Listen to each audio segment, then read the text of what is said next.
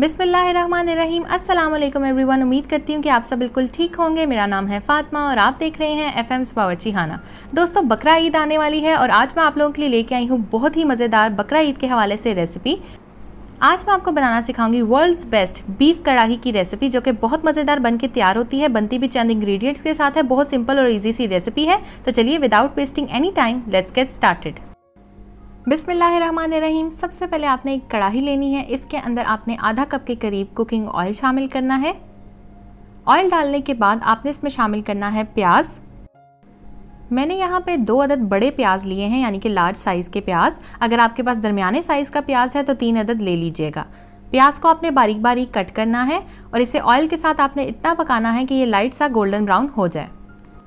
ये रेसिपी सबसे ज़्यादा इजी रेसिपी है और इसे बिगनर्स भी ट्राई कर सकते हैं। आपकी रेसिपी बिल्कुल परफेक्ट बनेगी। तो जब प्याज जो है वो अच्छे से गोल्डन ब्राउन हो जाएगा तो आपने इसमें शामिल कर देना है आधा किलो गाय का गोश्त, यानी कि बीफ मीट आधा किलो मैंने डाल दिया है और उसके बाद आपने गोश्त को इतना भूनना है कि अच्छे से इसका कलर जो है चेंज हो जाए। तकरीबन मैंने यहाँ पे 10 मिनट के लिए गोश्त को भूना है प्याज के साथ। आँच को आपने दरमियाना रखना है। ये रेसिपी मैंने स्पेशली उन लोगों के लिए डिज़ाइन की है जो कि प्रेशर कुकर का इस्तेमाल बिल्कुल भी नहीं करते। तो यहाँ आप देख सकते हैं 10 मिनट हो गए थे प्याज और गोश्त को भूनते हुए। तो मैंने इसमें वन टेबल स्पून जितना लहसन का पेस्ट और वन टेबल स्पून जितना अदरक का पेस्ट शामिल किया है। इसको हम एक से दो मिनट के लिए पका लेंगे। एक से दो मिनट के बाद अब मैं इसमें शामिल करूँगी टमाटर।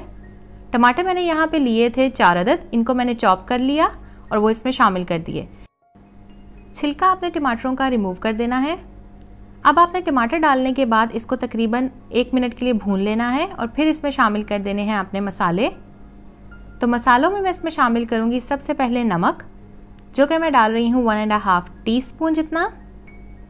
फिर इसमें शामिल करूँगी मैं पिसी हुई लाल मिर्च का पाउडर वन टीस्पून कुटी हुई लाल मिर्चें वन टीस्पून काली मिर्च का powder one four teaspoon धनिया पाउडर इसमें जाएगा वन टीस्पून जितना। साथ ही हम इसमें शामिल करेंगे ज़ीरा powder one teaspoon, half teaspoon साबित ज़ीरा। ये सारे मसाले डालने के बाद आपने इसको अच्छे तरीके से मिक्स कर लेना है। और अब मैं इसे भूनूँगी तकरीबन 10 से 15 मिनट के लिए टमाटर डालने के बाद। तो जब तक टमाटरों को मैं भून रही हूँ तब तक अगर आप चैनल पर न्यू है वीडियो फ़र्स्ट टाइम देख रहे हैं तो चैनल को सब्सक्राइब कीजिएगा वीडियो को लाइक शेयर और कॉमेंट करना मत भूलिएगा। तो आप देख सकते हैं 10 से 15 मिनट हो चुके हैं, टमाटर अच्छे से सॉफ्ट हो चुके हैं। इस स्टेज पे आपने नेक्स्ट स्टेप क्या करना है, वो मैं आपको बताती हूँ।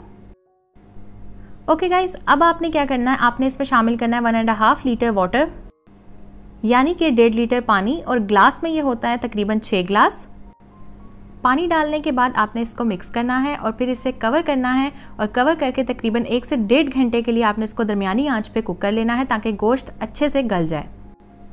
और जो लोग चाहते हैं कि उनकी कढ़ाई जल्दी बन के तैयार हो जाए, अगर आप लोग चाहें तो आप पहले ही गोश्त को पानी के साथ सीटी दे सकते हैं तकरीबन 15 से 20 मिनट के लिए प्रेशर कुकर के अंदर। तो उससे ये होगा कि आपका कुकिंग टाइम बहुत ज़्यादा बच जाएगा।